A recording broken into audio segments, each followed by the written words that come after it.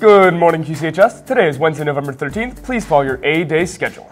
T-shirts for this year's Marvel Pep Rally will be sold for $10 until Friday this week during both lunches in the Cyber Commons. Check out the flyers around the building to see this year's design. Boys Indoor Track will have a meeting today directly after school in the Cyber Commons. Any boys interested in participating should attend for a start of the season information session. The Environmental Club will meet in Miss Sullivan's room, C206, after school today. All are welcome.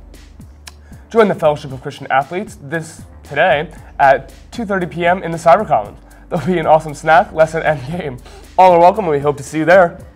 Come see the fall play, Almost Maine, this Thursday and Friday at 7.30 p.m. Student tickets are only $5 and are on sale during lunches this week. Now to Johnny Thunder with the weather.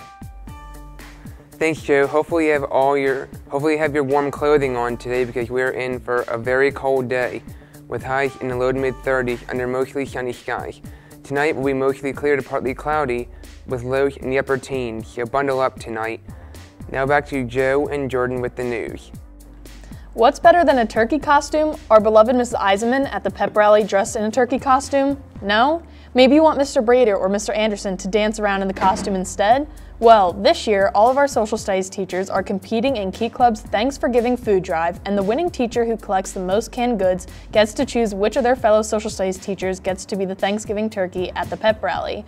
Plus, we like to we live to give, so choose which teacher you want to win and drop off cans in the food drive boxes to donate to a good cause and some mild competition. Ramen does not count. The food drive will last from November 13th to November 22nd. Model UN will meet in Miss Roeder's room, C105, on Thursday after school. The topic is Croatia. Please be prepared to start planning our first session. Bring your computers, and new members are always welcome. The Student Diversity Assembly will present to all prides about our second annual Martin Luther King Day of Service in the QPAC on Tuesday, November 19th. There will be no pride passes issued for that day. Now to Ethan, Gabby, and Kayla.